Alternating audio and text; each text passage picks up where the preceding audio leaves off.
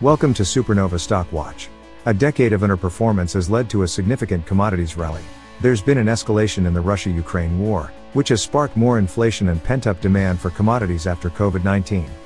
Russia announced that it would ban exports of certain commodities to the West, as punishment for the sanctions imposed on Russia. The Western countries in Europe and the US are keeping up their pressure on Russia as they meddle and invade Ukraine. Putin is shutting down the export of things, like energy resources, and raw materials. According to the decree, the ban will be in effect till December 31st, according to the law. The announcement came hours after the United States said it would stop importing oil from Russia. Afterward, the European Union said it would aim to reduce imports of Russian natural gas by two thirds this year. The UK government also said lately that it was lowering Russian oil imports by the end of 2022 and is exploring other avenues to end Russian gas imports altogether. And Europe is highly dependent on Russia for energy, importing about 40% of its energy requirement. No wonder the United States Brent Oil Fund, ticker BNO added about 42.4% last month. Oil isn't the only industry getting a boost over recent troubles. It's clear to see that industries aligned with metals and agriculture have also seen their value increase. Russia is the world's largest supplier of critical metals such as aluminum, nickel, and palladium. A ban on importing and exporting certain commodities could have significant consequences on the global commodities market. A great example is nickel, which has already hit an all-time high. Rising inflation is a plus for commodities. Everywhere in the world, inflation is on a significant upswing right now. It has a lot to do with wars and the subsequent price hikes in raw materials. Historically speaking, commodities have given investors protection from high inflation and added some much needed diversification to their portfolios. It looks like commodities might have finally started a sustainable recovery, and we might be in the beginnings of another bull market. There are a lot of similarities between now and when gold prices skyrocketed in the late 70s or during the mid to late 2000s. In a higher inflation scenario, the impact on corporate earnings may be pretty dire, hurting equity prices. This could then lead to an increase in commodities investments. As an alternative, environmental concerns is a plus for some metals. A global push for a carbon free economy is impacting the commodity sector. The socially responsible drive may cause a supply shortage in the commodity space, boosting prices. Lithium is one such beneficiary experiencing significant growth. Because of the increased need for batteries, the demand for electric cars and renewable energy is rising, causing materials like aluminum, tin, and copper to see a spike in prices. Miners must be working hard to provide more supplies, so we don't get caught short. China's economic growth. Furthermore, the improvement of China's conditions, the largest consumer of raw resources globally, has been driving commodity prices higher. China's GDP target for 2022 is 5.5%. The world's second largest economy has beefed up supportive measures to boost growth and underpin global demand. With stocks struggling, commodities are surging, and these stocks have increased 25% in the past month. Let's look at a few ETFs to take advantage of the situation. The first on the list is the iPath S&P GSCI, Total Return Index ETN, ticker GSP. The index delivers returns through an unleveraged investment in the futures contracts, comprising the index, plus the rate of interest on specified T-bills. Looking at the one-year trailing performance, this ETN is up over 72%. Next is the iShares US ETF Trust iShares GSCI, Commodity Dynamic Roll Strategy ETF, ticker COMT. The S&P GSCI Dynamic Roll, USD, Total Return Index measures the performance of futures contracts such as aluminum, Brent crude oil, cocoa, coffee, copper, corn, cotton, gas oil, feeder cattle, gold, heating oil, lean hogs, lead, live cattle, natural gas, nickel, silver, soybeans, sugar, unleaded gasoline, wheat, West Texas Intermediate crude oil and zinc. Looking at the one-year trailing performance, this ETF is up over 28%.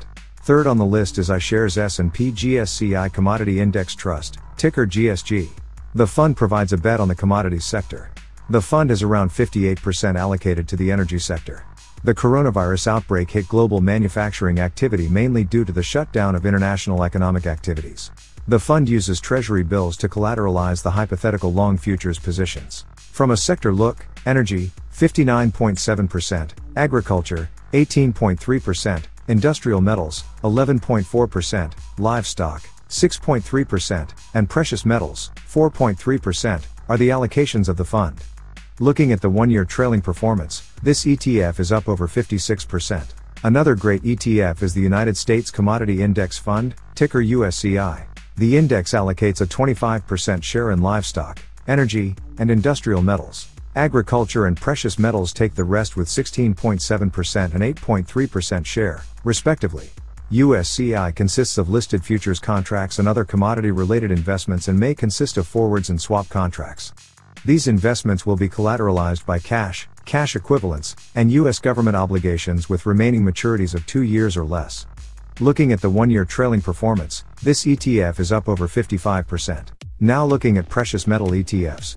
As they surge amid the Russia Ukraine crisis, the war in Ukraine has accelerated an increase in metals like palladium, aluminum, and nickel due to supply disruption fears. In contrast, gold has increased recently due to its safe haven status. Gold prices have surged to their highest levels since August 2020, thanks mainly to investors' search for safer assets amid rising market uncertainty, and geopolitical tensions.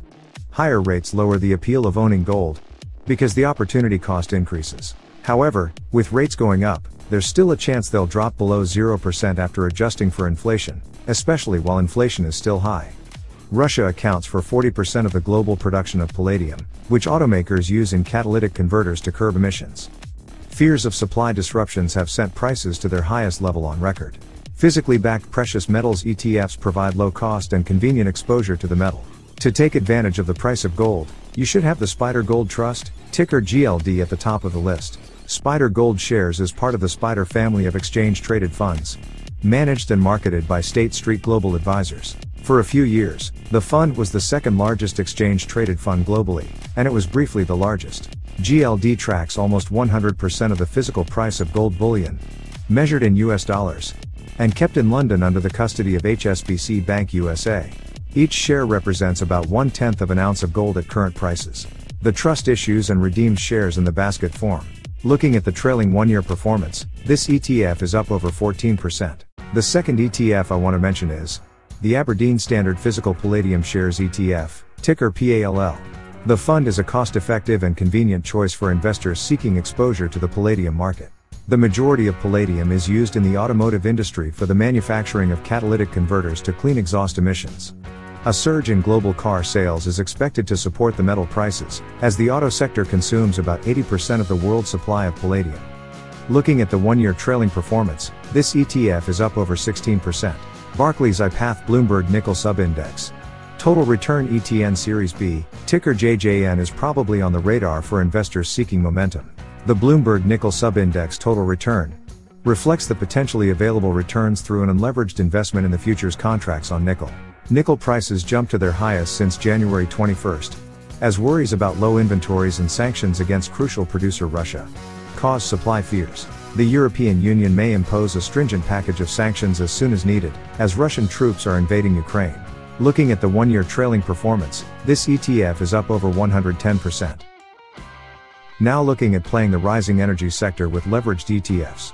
This year, oil prices have been on fire, increasing the energy sector's performance accordingly. Brent has been trading around the $120 per barrel mark, making it an excellent time for investing in oil companies. The price of oil will go up significantly because Russia is one of the world's largest exporters after Saudi Arabia. If there are any disruptions in their political or economic stability, it will significantly affect global oil supply and prices. Given this, bullish investors should bet on leveraged ETFs to make quick profits, as these could see huge gains in a concise time frame compared to simple products. Solid trends. The latest rally came on the back of severe sanctions by Western countries against Russia over Ukraine that has disrupted trade flows. The US and other countries are imposing sanctions on Russia. This will result in Russia supplying less oil or gas, which will hurt the global economy. Russia is responsible for nearly 10% of worldwide consumption. Added to the strong momentum is the state of backwardation in oil futures, where lower prices for later dated contracts cancel out higher prices for near term contracts. The tighter oil market signals strong demand and the forecast for higher prices. This trend will probably persist, creating a powerful catalyst for the commodity. I want to mention two options to play this momentum. The first one is ProShares Ultra Oil and Gas ETF, ticker DIG. ProShares Ultra Oil and Gas ETF seeks to deliver twice, 2x or 200%, the daily performance of the Dow Jones US Oil and Gas Index.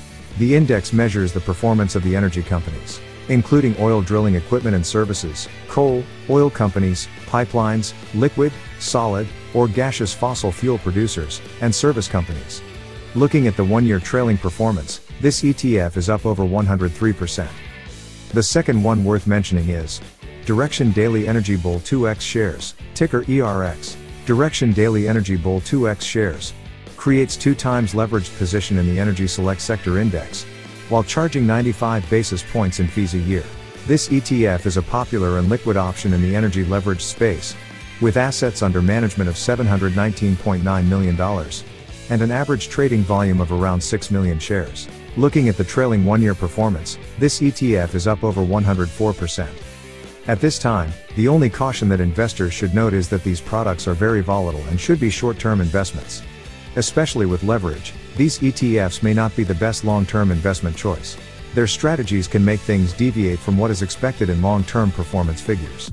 I enjoy sharing my insight with you and helping both of us become better traders and investors and find some level of success. You have made it to the end of my video. Thank you for watching. Please check out my other videos and also check out the description for great deals and sign up bonuses.